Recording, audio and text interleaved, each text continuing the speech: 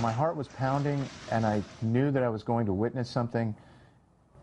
And I just, I just kind of, I just followed it with the camera. I'm, all the emotion and all the senses of, of just the, the propellers were pretty close to us. And that machine, you know, when that machine takes off, anyways, and you're pretty much far away, it's, it's beating you up pretty good on the ground. But when it screams by you and, and, and it hits the earth, it's, it's undescribable. Oh.